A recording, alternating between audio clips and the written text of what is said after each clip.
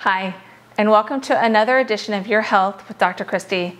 My name is Dr. Christy Risinger, and I'd like to talk to everyone today about hydroxychloroquine. There have been two recent items that have brought hydroxychloroquine back into the spotlight. The first is a group of physicians called America's Frontline Doctors that have been on the news quite a bit lately, and they've been claiming that some of the studies that have been done on hydroxychloroquine have been based on fake science. I just want to say that, first of all, that was very concerning for me to hear because a lot of the medical data that we have is the foundation of our profession. And I want to say that we have a lot of good data about hydroxychloroquine, and I'd like to go through those studies with you guys. The other thing that brought hydroxychloroquine back into the spotlight was the Henry Ford Hospital study that was published on July 2nd. It was published in the International Journal of Infectious Diseases, which is not a very well known uh, journal, which should raise concerns, first of all. And it was a retrospective analysis, which isn't a great study. It's not a double blind, placebo controlled trial. It was something where they just looked back on data.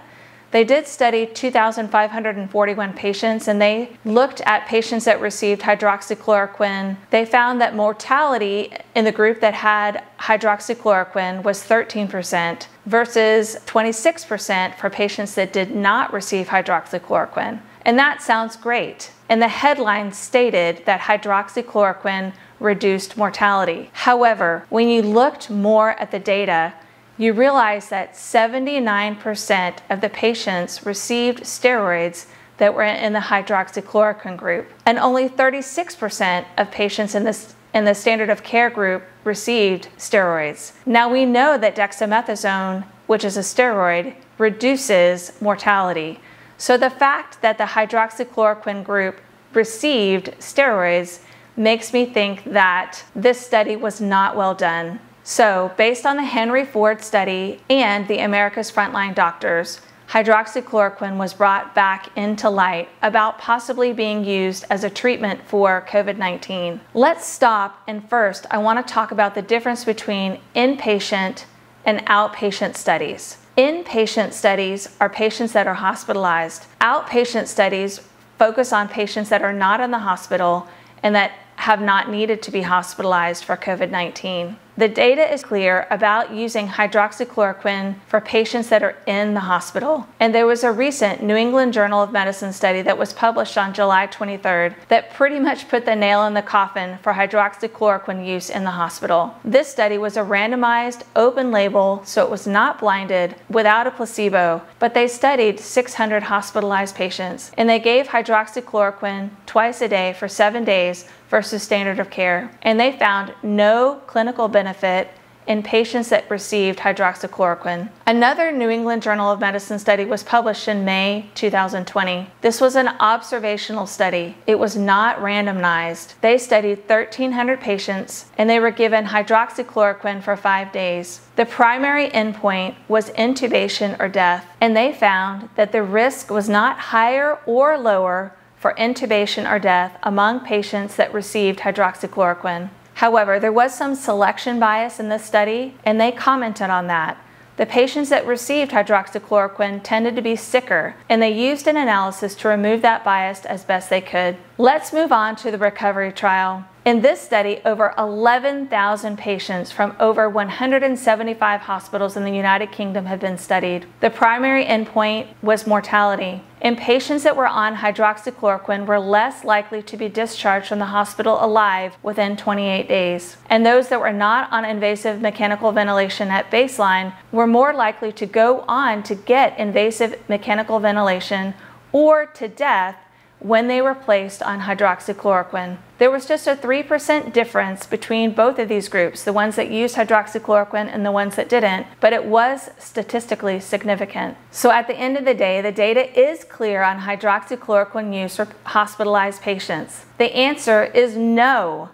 That's not a good use of hydroxychloroquine. But what about prophylactic use of hydroxychloroquine? Giving hydroxychloroquine to patients that do not have COVID 19 symptoms? Well, there are two types of prophylactic studies that are currently being done. One is pre exposure, and one is post exposure prophylaxis. We do have some good data on post exposure prophylaxis. And this study is from the New England Journal of Medicine. They gave hydroxychloroquine to people within four days of a moderate or high risk exposure. A moderate exposure was when a person with known COVID 19 was, was with a medical provider who was wearing a mask but not a face shield. And a high risk exposure was when a medical provider was with a COVID 19 positive patient and neither was wearing a mask. This was a double blind, placebo controlled study, which is the gold standard. They studied 821 patients and they found that when hydroxychloroquine was given to patients after moderate or high risk exposure, it did not work. There was no difference. 12% of patients that received hydroxychloroquine went on to develop COVID 19 versus 14% of patients that simply received placebo. This difference was not statistically significant. However, I do want to point out that even with moderate to high risk exposures, only 12 to 14% of these medical care providers went on to develop COVID 19. I think that's really reassuring. Next, let's move on to pre exposure prophylaxis. So this is giving hydroxychloroquine to people before they ever have been exposed or develop COVID-19. I think this is an exciting area that deserves more research. There are lots of studies currently underway for pre-exposure prophylaxis. The University of Oxford is hoping to recruit 40,000 people in a double-blind placebo-controlled studies using 200 milligrams daily in healthcare providers. There's also a study in Lafayette, Louisiana that they're hoping to recruit 1,700 healthcare providers and give hydroxychloroquine to medical care providers twice a week. And lastly, there's also a study in New Mexico, although the data won't be available for about five more years. I think this shows that there's a lot of excitement regarding pre-exposure prophylaxis with hydroxychloroquine. We do not have good results with using hydroxychloroquine in patients in the hospital or after they've been exposed to COVID-19. Thanks again for joining me.